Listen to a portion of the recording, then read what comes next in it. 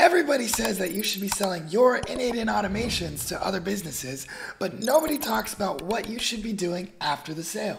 Do you host it? Do they host it? What do you do about the API keys? Let's break down what really happens when you deliver automations to clients and why most creators are skipping the hard part. First, we need to talk about whether you're self-hosting it or it's being hosted in the cloud. Right off the bat, I can tell you if you have a really big client with a lot of automations, you do not want to be using the N8N cloud. You want to be self-hosting it. The reason why is you're going to be saving a lot of money down the road when it comes to how many automations you're running. Also, if you self-host it, you have control over the infrastructure, which means that you can give them really beefy servers that allows them to run massive volume with their automations. Now, the N8N Cloud might be a little bit better if you or your clients are worried about security. If you're working with something like a lawyer or a doctor, it might be who of you to just let N8N deal with all the security stuff so you don't have to.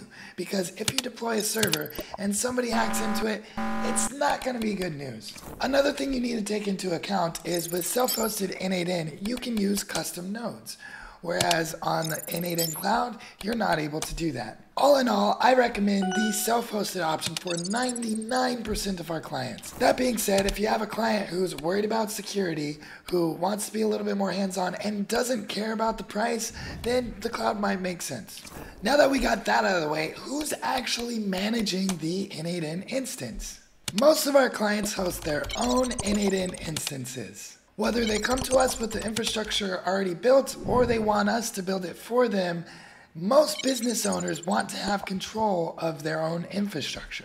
If a client comes to you and they have no infrastructure, you can charge a setup fee to deploy their N8N. If you're going to do this, you should have the client create their own hosting account, put their card on file, and then you can jump in and buy the server you need or you can tell the client which server you need, in which case they'll buy it for you and give you the credentials. Some clients, they don't want to deal with any of that hassle and they would rather have you manage their N8N instance. In that case, you can deploy a server under your own hosting account and charge them a monthly maintenance fee to keep that server alive. Usually this scenario happens when you have a monthly retainer clients where you're constantly building and improving on new workflows. Finally, you have the hybrid model. Now, in this model, the client hosts their own infrastructure and you charge a maintenance fee, but you keep their infrastructure up to date and make sure that nothing goes down. Let's talk about delivering the workflow.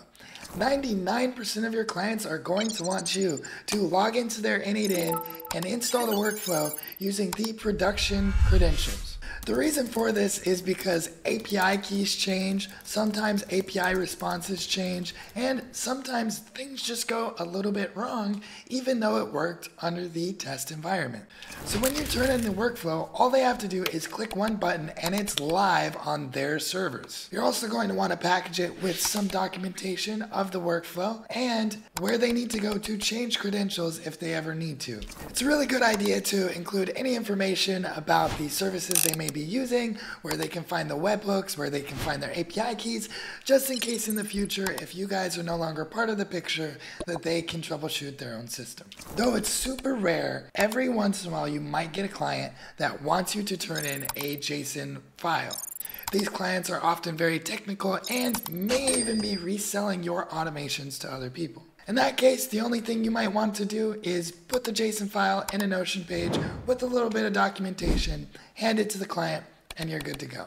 Now let's talk about API keys. Generally, while you're building, you would like to use test credentials.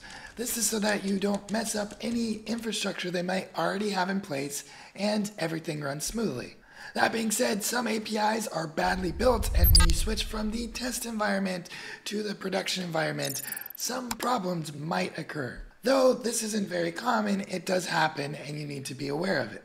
Most of the time, the client is responsible for giving you any API keys that you might need. They might do that by giving you access to one of their accounts, by adding you to one of the services they're using, or by simply asking, where do I find my API key? If you're going to send passwords or API keys back and forth, do not do it by email or SMS.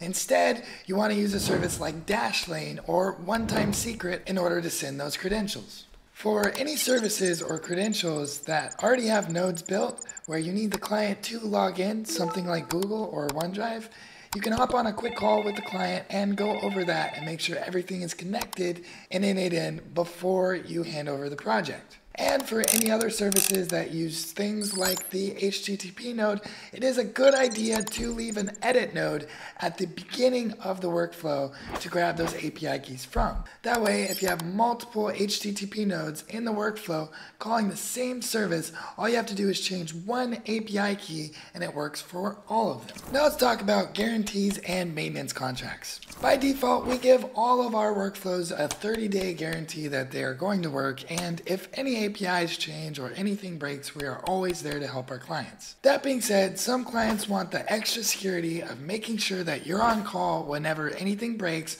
or when small changes need to be done. In that case, we'll charge a monthly maintenance fee to be on call. Depending on how much work the client needs month over month, that price will go up or down. If they need new workflows and improvements on old workflows very often, then that price will be pretty high. If they just want us to be there if something breaks, that price will be relatively low. I hope that you guys enjoyed this video.